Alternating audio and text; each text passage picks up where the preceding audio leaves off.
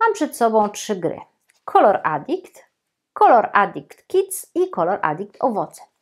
To gra z bardzo szybką instrukcją i prostymi zasadami. Rozdajemy karty wszystkim graczom. Na stole ląduje pierwsza.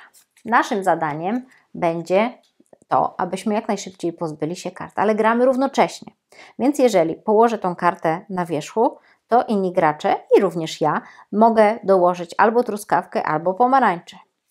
A ktoś szybciutko przełoży, a teraz albo jabłko, albo kiwi, albo arbuza, albo banana. No, trzeba się bardzo śpieszyć, bo rozgrywamy równocześnie i kto pierwszy, ten lepszy.